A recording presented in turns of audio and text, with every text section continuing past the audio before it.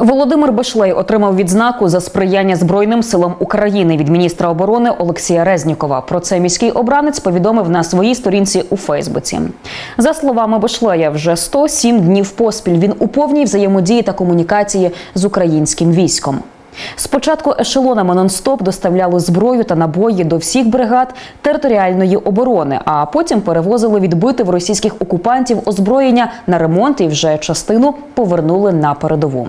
Написав Володимир. Обранець подякував міністру за високу оцінку його діяльності. Нагадаємо, що Володимир Бошлей з початку військових дій перебуває у столиці та працює на оборону України.